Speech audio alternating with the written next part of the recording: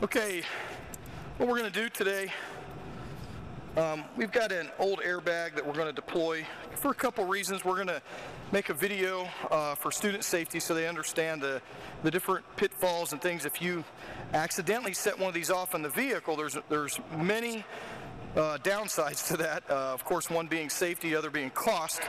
So we are going to uh, go ahead and set this off. What I've done is I've put it on the back side down on the floor and I've hooked the wiring up and I've got a jump box ready to go. So we're going to go ahead and fire this up.